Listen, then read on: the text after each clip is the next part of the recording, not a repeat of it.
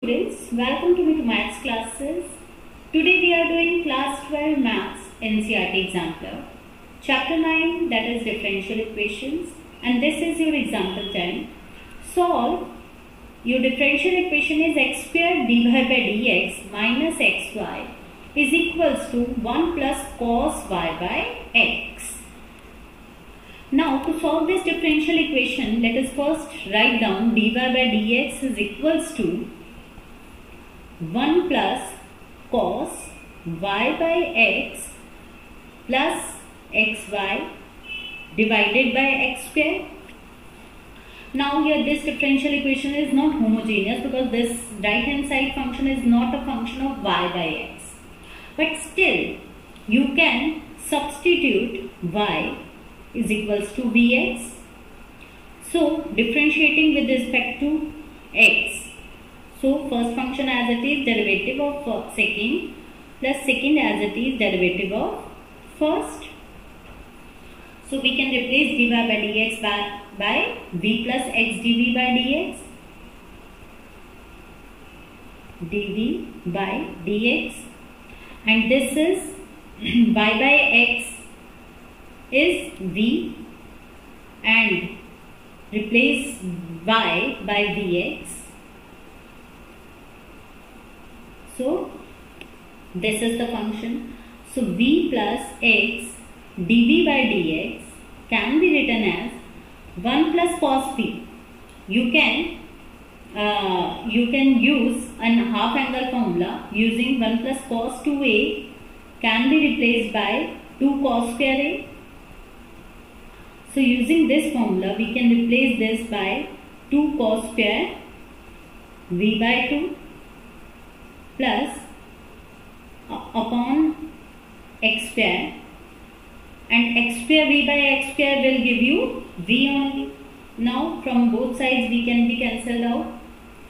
So x dv by dx is equals to 2 cos square v by 2 divided by x square. Now this will become a question of variable separable function of v can be uh, taken to this side cos square v by 2 and 2 upon x cube. X can be taken to the right hand side dx. Now integrating both sides. This will give you sec square v by 2 dv is equals to 2 upon x cube. 2 can be taken out. x is from minus 3 dx.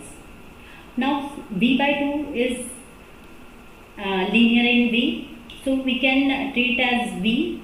So sec square v का integral is tan v. And in turn v by 2 के derivative से आप divide करोगे is equals to 2 x is from minus 3 plus 1 upon minus 3 plus 1 plus c. So this will become 2 tan inverse tan v by 2 is equals to this is minus 2 2 will cancel out. So minus 1 upon x square plus c.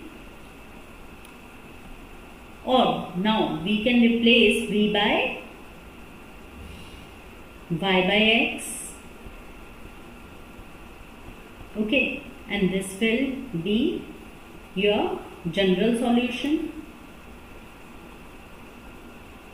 Now, substituting for the particular solution, substitute the value of x and y and when x is equals to 1, y is equals to pi by 2.